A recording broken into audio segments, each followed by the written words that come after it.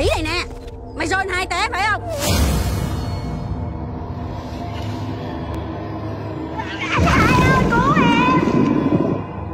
Con đừng có như vậy được không? Người chết không sống lại được.